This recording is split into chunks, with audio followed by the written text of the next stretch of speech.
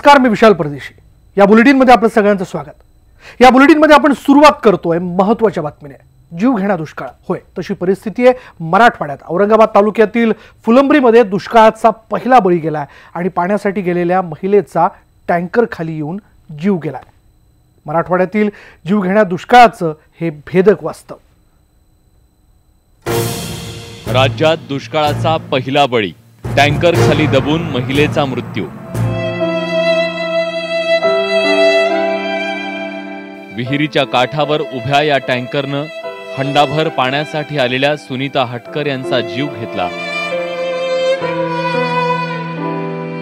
पाणी तर मिळालं नाहीच पण आयुष्यही सांडून गेलं. त्यामुळे फुलंब्री तालुक्यातील निमखेडच्या जोशी वस्तीवर शोककळा पसरली त्या टँकरचा पाण्यात जो खाली पडला तो पाणी. त्या पाण्यात त्या खाली गाऱ्यात रुतल्यामुळे टँकरचं एक चाक रुतत गेलं.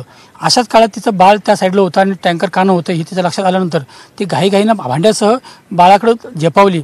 आणि बाळ तर सुखरूप बाजूला फेकला गेला परंतु ते टँकर काना झाल्यानंतर त्या टँकरच्या आणि ज्या विहिरीच्या आतमध्ये त्या खोलीत ती द दाबल्या गेली आणि तिचा जागीच मृत्यू झाला. मग या सगळ्या भराला बिरड्या मग मी टाकायला होते भांडे.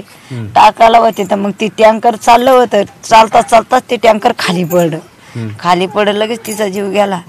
तर मग जीव गेला तर मग त्याच्यानंतर मला मी बेसूद झाले मला काहीच माहीत नाही. तिथून दोन दोन भांड्यानं पाणी इथं आणायचं. हापशी सुधरिली होती आमची पण त्या हापशीला खालूनच पाणी नव्हतं. पाणी आता हापशीला नाहीच आहे? नाही पाणी. दोन अंडे भरा ते फक्त दोन अंडे तीन अंडे लगेच पाणी झालं पाण्यामुळे जीव गेला. पाण्यामुळे जीव गेला. हे पाणी आमच्याच मुळावर कोपलं. दहा ते बारा अ, लिटरचा हंडा भरण्यासाठी एका आदिवासी महिलेचा लाख मोलाचा जीव गेला. आणि तिच्या मागं तिचा दीड वर्षाचा एक कच्चा बच्चा राहिला.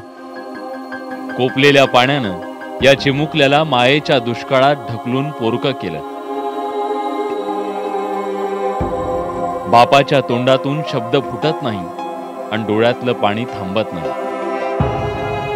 आपशी आपशीला पाणी असतं ना मिली नसती आमची बाय हे लेकरं उन्हात पडले नसते. आता काय करायचं आहे लेकरं? साहेब तुम्हीच सांगा बरं. आम्ही काय करावं यांना? घोटभर पाण्यासाठी वस्तीवरच्या महिलांना रानोमाळ वणवण फिरावं लागतं. जवळपासचे सगळे हापसे कोरडे पडले. विहिरींनी तळ गाठलाय. त्यामुळे टँकर हाच तहान भागवण्याचा एकमेव पर्याय. पाण्यात तरच आम्हाला. कसं कसं पाणी आणायचे? हे आपशीला पाणी नाही राहत काय नाही दूध सांगल्यावर येते. दोन न चार भांडे निघते. एवढ्या जणांना पुरत नाही. पाण्यासाठी राज्यातला पहिला बळी गेला पण प्रशासन नावाचा कुंभकर्ण झोपेतून उठायला तयार नाही. नेत्यांनी येऊन किमान आश्वासन तर दिलं पण प्रशासनानं घटनास्थळी भेट देण्याचं साधं औदार्यही दाखवलं नाही. प्रशासनाचे एका प्रकारचे झोपेतच म्हणावं लागेल. तहसीलदार मॅडम यांनी शा- शासनाकडून जे काही पदाधिकारी त्यांचे येथे येण्याची खूप अपेक्षा होती.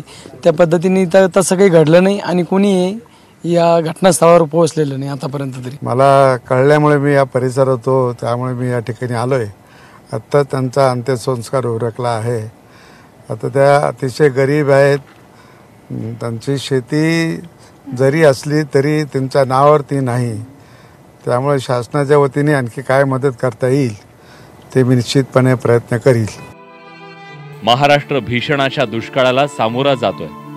अगदी नोव्हेंबर डिसेंबरमध्येच माणसं पाण्यासाठी दाही दिशा फिरू लागली आहेत. मराठवाड्यातील तब्बल एकोणऐंशी शहरांना साडेतीन दिवस आड पाणी पुरवठा होतोय. महाराष्ट्र जीवन प्राधिकरणाची ही आकडेवारी धक्कादायक आहे. अहमदपूर शहराला तर पंधरा ते वीस दिवस आड पाणी पुरवठा होतोय.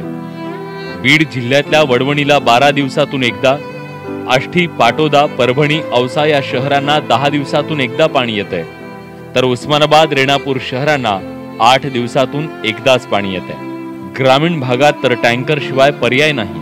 सध्या तीनशे पंच्याहत्तर टँकर मराठवाड्यातल्या ग्रामीण भागाची तहान भागवत आहे मराठवाड्यातील हजारो गावखेड्यांसह राज्यातील अनेक जिल्ह्यात अगदी शहरातही पाण्याची तीव्र टंचाई जाणवू लागली आहे. पाण्यासाठीचा हा आक्रोश ठिकठिकाणी ऐकू येतोय. शिर्डीत टाकीवर चढून आंदोलन करणाऱ्या या लोकांनाही पाणीच हवंय. महाराष्ट्राच्या दारावर दुष्काळानं धडक दिली आहे हा दुष्काळ अन्नाचा नाही पाण्याचा आहे. घोटभर पाण्यासाठी माणसं अशी रानुमाळ भटकतायत. फुलंब्रीत तर पाण्यासाठी रक्त सांडलंय. पण ही फक्त सुरुवात आहे भयान वास्तवाची. Siddharth गोदामसह bureau report news eighteen Lokmat Aurangabad.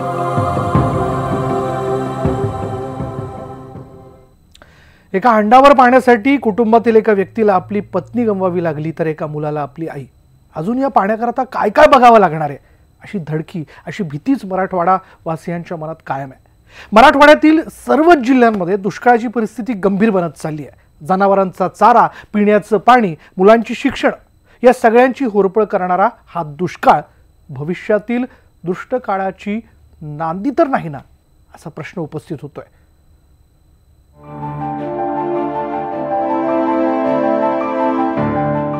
महाराष्ट्राच्या ग्रामीण भागात थंडीचा कडाका आणि दुष्काळाची दाहकता दिवसागणिक वाढू लागली. नोव्हेंबर डिसेंबर मध्येच मराठवाड्यातील वाड्या वस्त्यांवर टँकर फिरू लागले. जालना जिल्ह्यात पिण्याच्या पाण्याचा प्रश्न दिवसेंदिवस गंभीर बनतोय. त्यामुळे शेकडो गावांची आज टँकरवरच मदार आहे. जिल्ह्यात सध्या एक्केचाळीस टँकर सुरू आहेत. एकट्या भोकरदन तालुक्यात चोवीस टँकरनं पाणी पुरवठा होतोय. गेल्या दोन वर्षांपूर्वी लातूर शहराला रेल्वेनं पाणी आणण्याची अभूतपूर्व परिस्थिती निर्माण झाली.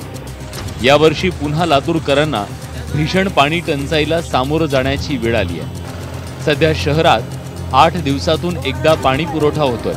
त्यामुळे पाण्याच्या थेंबा थेंबासाठी इथल्या माणसांची धडपड सुरू आहे. लातूरकरांची तहान भागवणाऱ्या मांजरा धरणानं आत्ताच हा असा तळ गाठल्यानं सात महिने कसे काढायचे हा लातूरकरांसमोरचा प्रश्न आहे. बीड जिल्ह्याच्या पाचवीलाच पुजलेला दुष्काळ पुन्हा दारात उभा आहे. या दुष्काळात अनेक पोरांचं भविष्य करपून जात आहे बीड जिल्ह्यातल्या मुर्शदपूरमधल्या सायलीच्या शिक्षणावर दुष्काळाची कुऱ्हाड कोसळली आहे. दुधाचा व्यवसाय करणाऱ्या वडिलांनी जनावरांना जगवणाऱ्या चाऱ्याला प्राधान्य दिलं. मग महागा मोलाच्या चाऱ्यानं सायलीचं शिक्षण खाल्लं. पैशाअभावी तिला बारावीची शिकवणी बंद करावी लागली. उस्मानाबाद जिल्ह्यातली परिस्थिती ही दिवसेंदिवस बिकट होत चालली आहे. वाड्या वस्त्यांवरील लोकांना पाण्यासाठी भटकंती करण्याची वेळ आली आहे. जिल्ह्यातील दोनशे एकोणीस लघु आणि मध्यम प्रकल्पात केवळ पंधरा टक्के पाणीसाठा शिल्लक आहे. टँकरनं होणारा पाणी पुरवठा अपुरा असल्यानं पायपीट करण्याशिवाय इथल्या नागरिकांना पर्याय नाही. पाणी हे जीवन आहे पण मराठवाड्यात हे जीवनच दुर्मिळ होऊन बसल्यानं माणसांचं जगणं मुश्किल होऊन बसलंय. लातूरहून नितीन बनसोडे जालन्याहून रवी जयस्वाल. बीडहून शशी केवडकर सह बालाजी निरफळ न्यूज एटीन लोकमत उस्मानाबाद. आणि त्यात आता केंद्र सरकारचा दुष्काळ पाहणी दौरा जो आहे तो पाच ते आठ जानेवारी दरम्यान होणार आहे. आणि यामध्ये मराठवाड्यातील आठ दुष्काळी जिल्ह्यांची पाहणी करण्यात येणार आहे. विभागीय आयुक्त कार्यालयानं ही माहिती दिली आहे.